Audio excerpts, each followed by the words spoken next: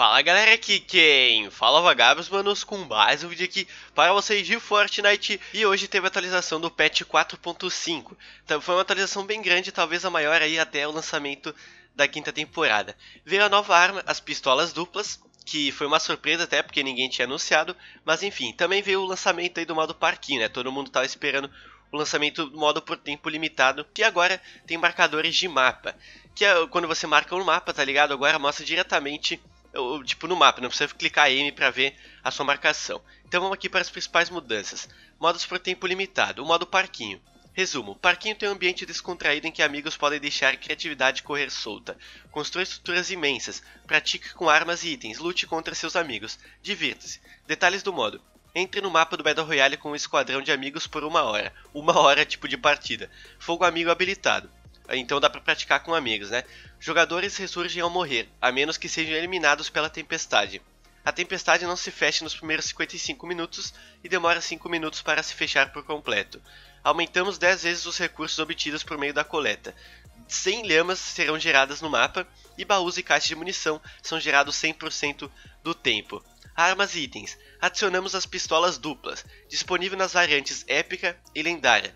Dano básico 41 a 43, um dano bem significante. Usam munição média e as duas pistolas são disparadas ao puxar o gatilho de uma vez, e podem ser encontradas em saques de chão, baús e entregas de suprimentos. Pulos significativos usando o carrinho de supermercado agora aparecem no feed de eliminações, altura, distância e duração dano da arma estruturas agora escala corretamente com a raridade, e reduziram o dano das espingardas a estruturas, escopetas em 50% e espingardas táticas e espingardas pesadas em 25%. E explosivos agora causam dano às estruturas dentro do alcance, estejam elas visíveis ou não a partir do centro da explosão. E eles também fizeram algumas mudanças na Submachine Guns, na SMG tática e na SMG com silenciador.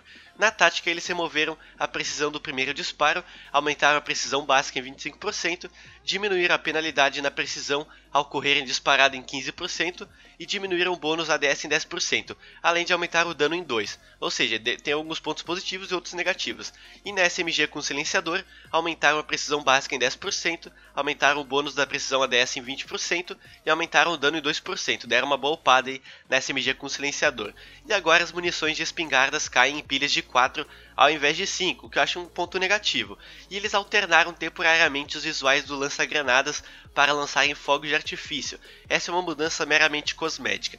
Então, tipo assim, no Natal, né, teve os lança-granada com bola de neve, na Páscoa com ovos de Páscoa e agora com fogos de artifício em homenagem ao Dia da Independência dos Estados Unidos, que é 4 de julho. E também teve algumas mudanças na jogabilidade, e as principais mudanças são essas. O processo em missão de eliminação será concedido ao derrubar um inimigo com a arma necessária sem precisar eliminar o inimigo com ela, uma boa mudança aí nos desafios. E também que agora as picaretas não vão mais atingir o carrinho do supermercado se você for o passageiro, que é muito bom porque eu já destruí várias vezes o carrinho sendo passageiro. E também algumas correções de bugs, e a mais significativa para mim é que agora os itens deixados na água ficam acima da superfície da água, o que é muito bom para lutear no lago aí, porque antes tinha altos problemas de loot no lago. E também algumas mudanças de desempenho. E a melhor delas é que agora melhoraram o desempenho do salto de paraquedas em todas as plataformas, principalmente no Switch, ao reduzir renderizações relacionadas a atrelamentos do processador, o que é muito bom, porque meu PC dava umas travadinhas quando eu saía do ônibus de batalha e tal, acho que geral sofria com esse lag. E algumas mudanças no áudio também.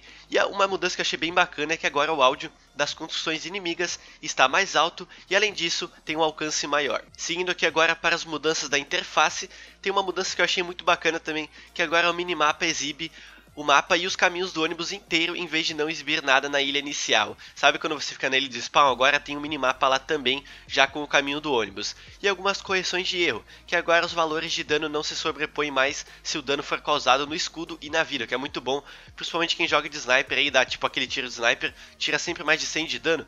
Aí às vezes você tira tipo 100, aí aparece o do escudo em cima, e não dá pra saber quanto você tirou do cara, né? E pilhas de objetos não aparecem mais com munições zeradas ao serem saqueadas, ícones de marcadores de mapa agora aparecem corretamente mesmo na ilha inicial, corrigiram o problema no qual às vezes os marcadores de mapa não eram removidos ao pressionar com o botão direito e mover um pouco o mouse, e corrigiram o problema no qual os jogadores não conseguiam soltar ou separar o item após soltar uma pilha inteira de itens.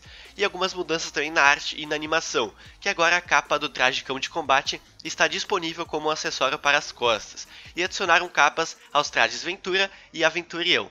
E todos que compraram esses trajes receberam um acessório para as costas para usá-lo em qualquer traje, e algumas correções de erro na arte e na animação também.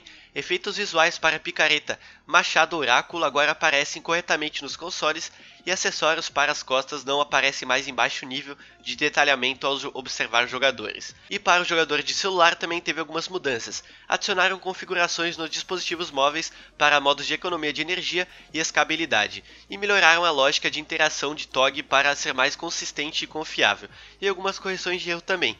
Configurações de vibração não são mais redefinidas para valor incorreto nos dispositivos móveis, corrigimos um erro no qual dispositivos móveis com especificações baixas não exibiam a ilha inteira ao usar o ônibus e o volume nos dispositivos móveis não vai mais ficar ocasionalmente silenciado. Teve várias mudanças no modo Salve o Mundo também, mas como aqui o canal é focado no Battle Royale, então falei das mudanças somente do Battle Royale, ok? Essas foram as principais mudanças aí do patch 4.5, uma boa atualização aí no jogo, e eu creio que vai ser a maior até a vinda aí da quinta temporada. Okay? E lembrando que eu irei deixar na descrição o link de todas as notícias aí da atualização desse patch 4.5, beleza? Enfim, mas é isso, se você gostou do vídeo, deixa seu like, não custa nada e me ajuda, beleza? Então é isso galera, valeu, falou, aquele abraço e eu fui!